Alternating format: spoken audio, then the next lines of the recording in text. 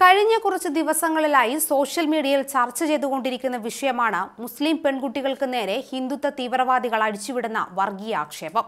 മതത്തിന്റെ പേരിൽ ജനങ്ങൾക്കിടയിൽ വർഗീയ വിഷം തുപ്പുന്ന ബി ജെ പിയുടെ അജണ്ടയിലെ ഏറ്റവും ഒടുവിലത്തെ ഉദാഹരണമാണ് കഴിഞ്ഞ ദിവസം ഉത്തർപ്രദേശിൽ ഒരു ഹിന്ദുത്വ പുരോഹിതൻ നടത്തിയ പ്രസംഗം. ഇതിനെതിരെയാണ് ശക്തമായ പ്രതിഷേധം ഇപ്പോൾ അണപൊട്ടി ഒഴുകുന്നത്. മുസ്ലിം സ്ത്രീകളെ തട്ടിക്കൊണ്ടുപോയി പീഡിപ്പിക്കുമെന്ന് ഭീഷണി പ്രസംഗം നടത്തിയ ഹിന്ദുത്വ പുരോഹിതനെതിരെ ട്വിറ്ററിൽ വ്യാപക പ്രതിഷേധമാണ്. അറസ്റ്റ് ബജറംഗ് മുനി എന്ന ഹാഷ്ടാഗാണ് ട്വിറ്ററിൽ ട്രെൻഡിംഗ് ആയിട്ടുള്ളത്. പുരോഹിതന്റെ പ്രസംഗങ്ങളുടെ വിവിധ വീഡിയോകൾ പങ്കുവച്ചാണ് ആളുകൾ പ്രതിഷേധമുയർത്തുന്നത്. ട്വിറ്റർ ഇന്ത്യയുടെ കണക്ക് പ്രകാരം ഇന്ന് ഇതുവരെ നാലാം സ്ഥാനത്താണ് അറസ്റ്റ് ബജറംഗ് മുനി എന്ന ഹാഷ്ടാഗ് ട്രെൻഡിങ്ങിലുള്ളത്. എന്നാൽ സംഭവം നടന്ന് ആറ് ദിവസങ്ങൾക്ക് ശേഷം അന്വേഷണം ആരംഭിച്ചിരിക്കുകയാണ് യു പോലീസ്. പുരോഹിതന്റെ പ്രസംഗത്തിന്റെ വീഡിയോ സമൂഹ മാധ്യമങ്ങളിൽ പ്രചരിപ്പിച്ചതിന് പിന്നാലെയാണ് പോലീസ് അന്വേഷണം ആരംഭിച്ചത്.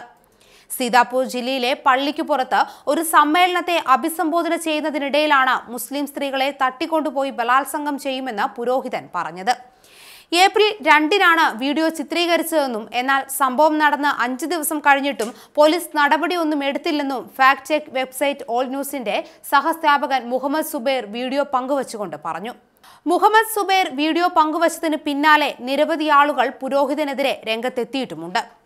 പുരോഹിതൻ ബജ്രംഗ് മുനിയാണെന്ന് പലരും അഭിപ്രായപ്പെട്ടു.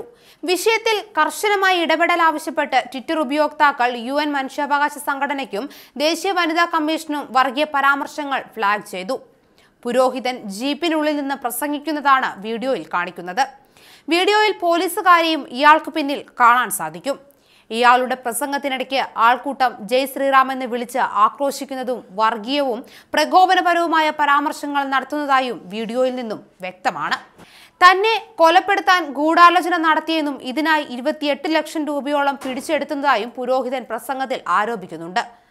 സംഭവത്തിൽ അന്വേഷണം നടന്നുകൊണ്ടിരിക്കുകയാണെന്നും പുരോഹിതനെതിരെ നടപടിയെടുക്കുമെന്നും സീതാപൂർ പോലീസ് വ്യക്തമാക്കി. ഇത്തരം സംഭവങ്ങളും പരാമർശങ്ങളും ആദ്യമല്ലെങ്കിലും ബി ജെ പിയുടെ ഇത്തരം വർഗീയതയ്ക്ക് വഴിവെട്ടുന്നത് ഇന്ത്യ ഒരുപക്ഷെ നിലംപരിശാക്കുന്നതിന് തുല്യമായിരിക്കുമെന്നും പറയാതെ വയ്യ.